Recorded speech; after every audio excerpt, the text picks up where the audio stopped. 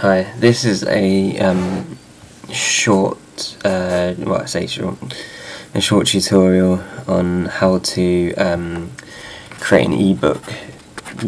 So um, that covers, you know, things like uh, the EPUB format for iPad and e-book readers, as well as like the uh, the Mobi um, and AZW uh, formats for Kindle. Um, the setup that I'm using is that these books go onto a web server where people can press a link and it downloads and you know if they're browsing on an iPad it loads in iBooks etc. Um, one thing I found with this, especially with my Works Microsoft server, is that they don't particularly have um, the MIME type setup. So this is something that when you go and you visit a file on a web server, it um, associates it. So, for instance, uh, you know, a HTML page would be text slash HTML. A uh, PDF would be like a what they call an octet screen, stream and stuff. It allows it to download at different rates, etc. Um, so you need to um, set that up which I'm sure if you do a quick Google of just like .epub, you know, um, MIME types, etc., that will help. Um, so yeah, let's just crack on. Um, so I'll just show you a couple of the tools that we'll be using today. So you've got um, Sigil, which is a um, it's essentially an XHTML editor which is optimized for ebook publishing. So it does some really cool things. Um, so much like Word's table of contents, it allows you to um, create uh, a table of content based on you know the headings used, and we'll go into that when we cover XHTML. Um, but uh, it, yeah, it's really really good. Uh, it also has a built-in kind of ebook checker so this allows it to um, you know go through the ebook and it'll tell you if things like links to style sheets uh, links to pages etc aren't correct um, which is you know really handy. Uh, it also has these couple of views. So for instance this one is just you know your average editor. You can change things here. So you know you've got various different styles which is the hierarchy bit. Um, you know, you've got where text goes, lists, etc. As well as like insert image, you know, um, insert chapter breaks. Uh, it's also got a split view, which is what I use a lot, which allows you to you know change things using HTML. And my background is as a web designer, developer, whatever, so it helps a lot for me to go into these views. Um, as well as this it has this kind of nifty feature where it, it kind of scrolls when it wants to anyway. It scrolls with you as you're uh, editing your text. And this is just you know the full-blown code view. Um, so yeah it's, it's really good and it works within a PD, uh, like an EPUB. So you just literally save and your EPUB is ready to go. It can be a little bit weird because you feel like you should compile it, but you don't need to. Um, and then as well as that, we are going to be working with this wonderful bit here, which will load eventually, called um, Calibre. When it loads, um, there go. Uh, this is essentially a um, a means of collecting your ebooks, but it allows you to edit the like things. So, for instance, you know, met the metadata, which kind of is pretty much how you know your e-book reader, e whatever, will um, determine how to display the book when it, in its various like menus and search functions etc uh, which is pretty cool. Um, as well as that it does conversions. So for instance you know I've got this one here and just go to convert individually.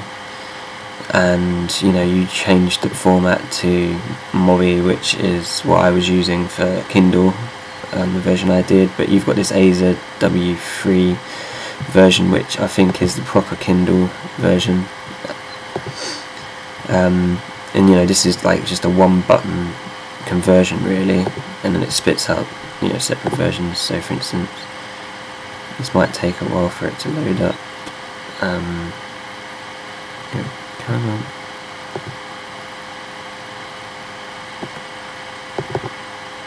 There you go. Um, yeah, so get rid of that. Um, it loads eventually. um, but they both look the same, really.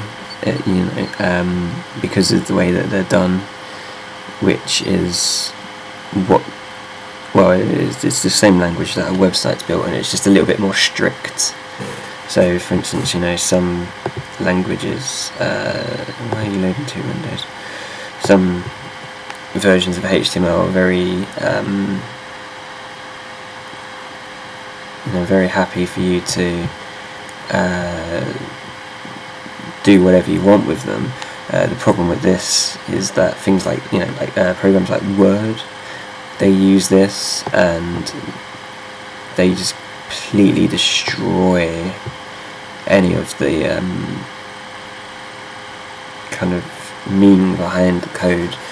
So I really would not recommend using words um, to generate your HTML for this because it will fail the validation. But you know you can see you've got various different things, etc. Um, and you know the same for the EPUB as well. Um, okay, so let's just kind of do a bit of a background on what this is about. So this is the quality account um, for work, which is something that every NHS um, organisation needs to produce to kind of show the quality of care um, that's delivered. Um, so this is where I first learned how to do ebooks. Uh, I did it a, separate, a different way using Pages from Mac, um, which I'd read on the website was really you know, the best way to do it. It's not. um, use uh, uh, the HTML thing and these tools here. Uh, you might you know need to learn a little bit more about how HTML is um, laid out but uh, the, the, Pages version, although it worked on the iPad, wasn't that great when it came to converting to things like Kindle. Um, so I would I wouldn't recommend that now. Um, but I'll give you, you know, a brief overview. So, for instance, like the quality account, you know, it, it's organised. So you've got your, you know, your, your top five um, kind of headers uh, then within those you've you know you, these are your sections and then you've got your, your pages within that and this is similar to the way that the ebook version works so the annual report which is this document um, it contains the quality account within it anyway uh, as you know part of the um, the um, the stuff that you know an NHS trust has to do. So this is actually the start of that. Um, because it's a book, there's no like you don't break it down as much. But you know, if, if I go for summary hospital level mortality indicator, uh, you'll find it's this. Um, and yeah, this is exactly the same as that uh, so if I click on that one there, uh, exactly the same, just you know a different um, a, a, different way of looking, so it fits in with you know the other um, document. Um, if I was to go to, uh, if I can, page source, you'd see after all of this stuff here, H2s, H3s, uh, you know, a table. Um, now if I go to Sigil and go to the code view, lo and behold, you have got H2s, H3s, tables. So it really is just, I mean, you know, you could essentially, if you had a website you wanted to convert into uh, an ebook, you could pretty much just copy and paste the code.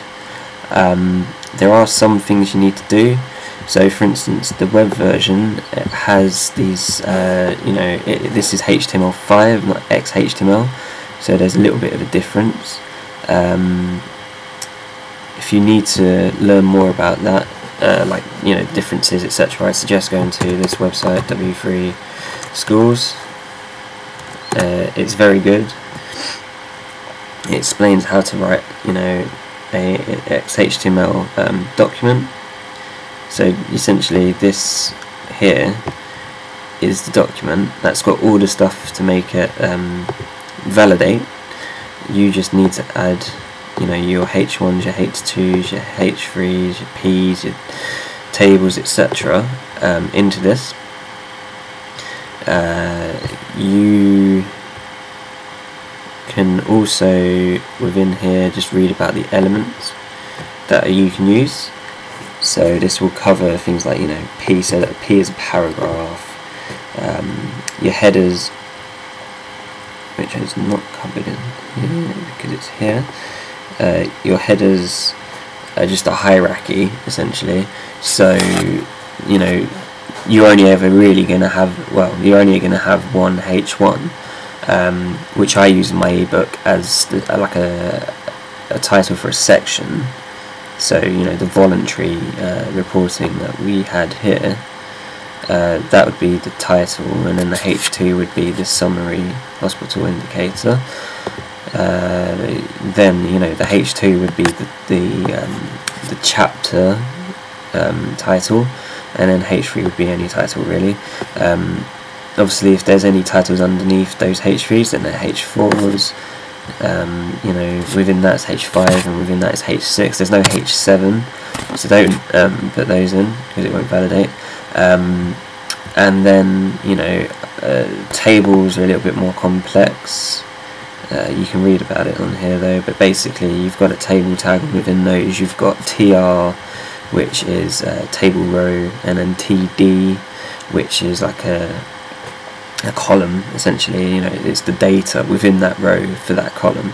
So you would only like for every row you only have one TR, but you can have multiple TDs. But you, for every number of TDs in that table, you need the adjacent number for every row.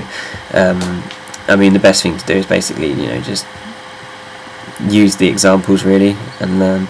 Um, but you know, for basic ebook editing, you only need those um, that that knowledge. Uh, then you know, there's things like images, which uh, Sigil kind of works out for you anyway. So that's fine. I, to be honest, it's it's probably easiest just to use you know this thing here and use the tools. Um, I'm not entirely sure. I don't think there is a way to put tables in there, so that's probably where we're going to have to, you know, do some some uh, XHTML. But you know, for the easiness of this tool, it's a price I'm sure most people are willing to pay. Um, you know, to generate. So so once you've got your headers properly, so you know, this is the voluntary report, and this is you know so this is H1, this is H2, this is H3, uh, then you go to generate TOCs, and you know, so I do two levels, which then gives me what I've got on the, the, um, the right.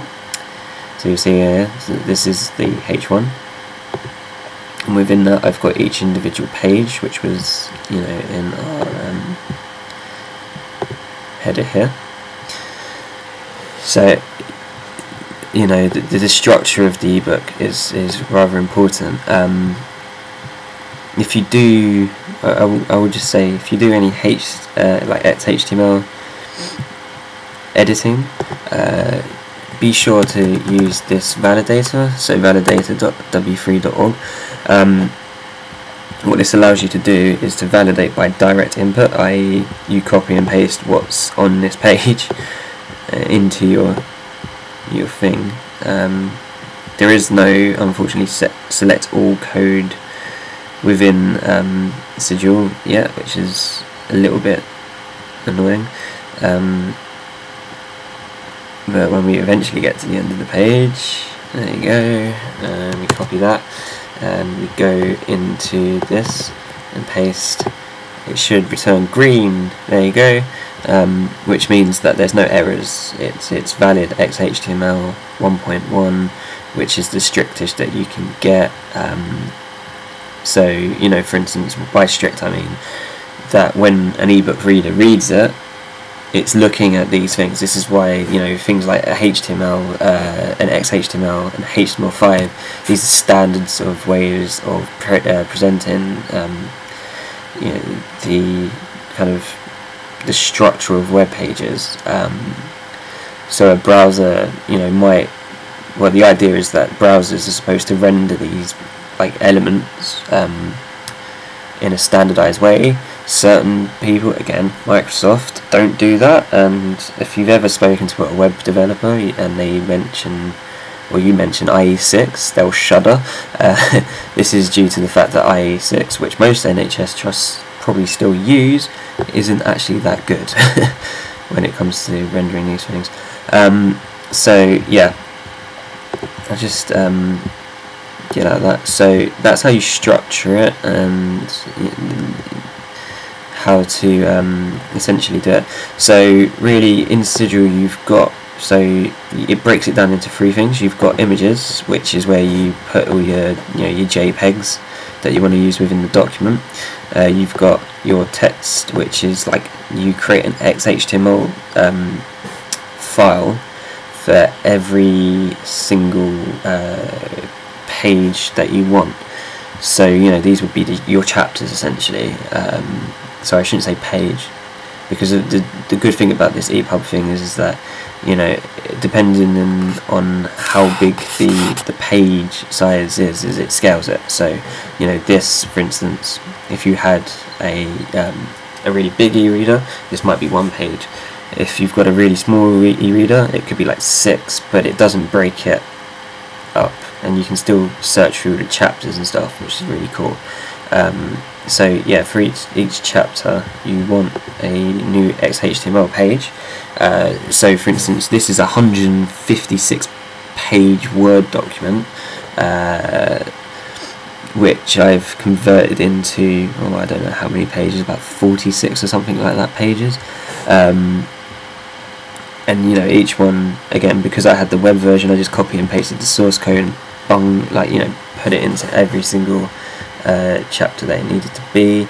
You know, some of these, like for instance, the salary information, it's a bit beastly in this. It's massive, um, but once it's done, you've got it in a format which you know you're going to be able to convert into any other thing.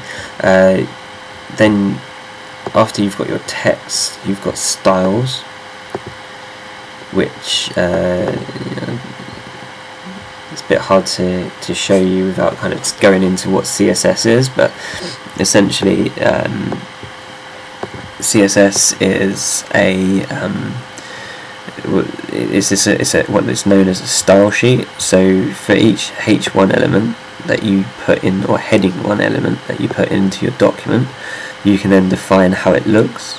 Um, so for instance, you know, on my one, I've got very big headers uh, they're twice the normal font size, um, and they're F31354, which is that pink colour. Uh, then, you know, for the other header colours, they're blue. Um, that's pretty much all it says. It lays out a couple of other things, you know, about kind of like here it says what type of like ordered list. So that's like you know your one, two, three list. So instead of that, I've got A, B, C, D. You know, um, that's pretty much all it all of this does um, but it does mean that you know you can add some kind of style to your ebook. Um, so if I go here you'll see that here and this is in again on that W3 schools it tell you how to link things. Um, but yeah essentially this says look into this styles folder uh, for this print CSS file and that pretty much styles the entire page. Uh, you might notice it's got dot dot slash, which means go up a directory. Um, so for instance, because this file is in the text directory, it needs to go out into this folder here and then go back into this styles folder to find that file. Uh, you'll notice that every link is like this as well. So, you know, link text, although it's in the same folder, it needs to do this to get to it. This just basically makes sure that, you know, it's always going to know where to go when you need to find your, uh, your you know, your other files. Um, yeah, so um, I won't go too much more in detail because I think I've covered the basics of this and I'm sure you know once you've downloaded this piece of software and you've played around with it you'll get to grips with you know whichever method works for you. Um, and yeah in Calibre uh, you know you you just import uh, the file. So that would be add books you browse for the EPUB version it comes in here you know you go in you edit your metadata. So that you know you can add a, a cover for it um, which I've you know it's just a JPEG really. Uh, probably don't have any decent ones in here. Uh, uh, where are your documents maybe? Okay so, so count docular pixel thing. Like so that's going to be the ebook cover. You press ok bam and when you go into iTunes it will use this picture uh, as the uh, as as the what you call it um, as as the, uh, the, the cover image um, so for instance if I go to other scroll down a bit, go to iTunes and open it. And iTunes is... Oh, I've already got it in there, that's why. I'll delete that then. Don't want that no more. Uh, okay.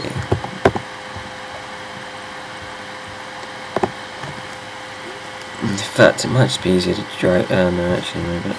Um, where are you? iTunes. Huh. uh, what did I say about that? Uh, anyway, uh, yeah, ignore this. uh, so, um, yeah so this is basically where your files are. You, you, know, you've got your Mobi, you've got your EPUB, and that's what you would put onto the um, onto the website uh, for them to download, or you know, you distribute this to your various different stores that you want to sell it on, depending on what you're going for.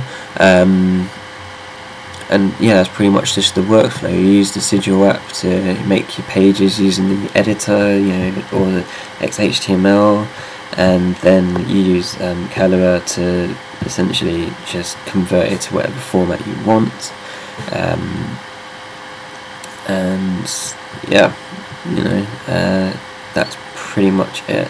To download the apps you need to go I mean you just search them but they're all multi-platform open source you know um, so you can use them on whatever machine as long as you can download them.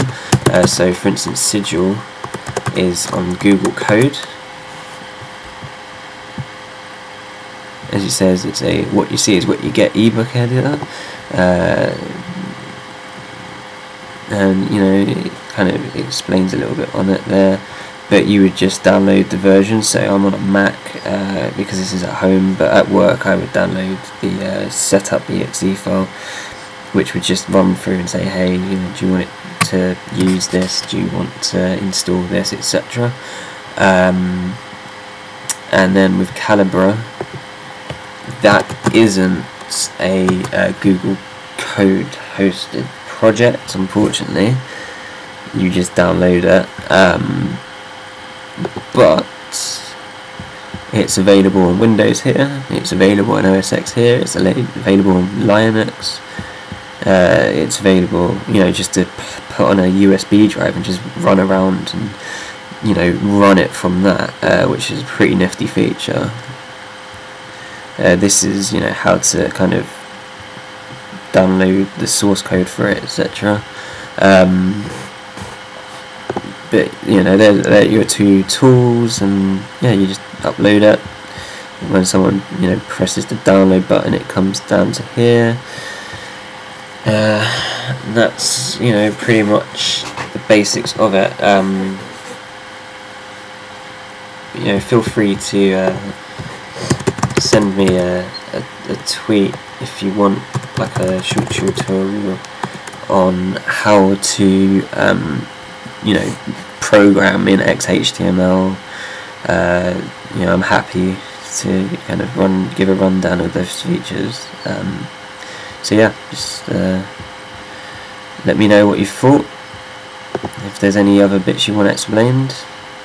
And uh, sorry for taking up 26 minutes of your time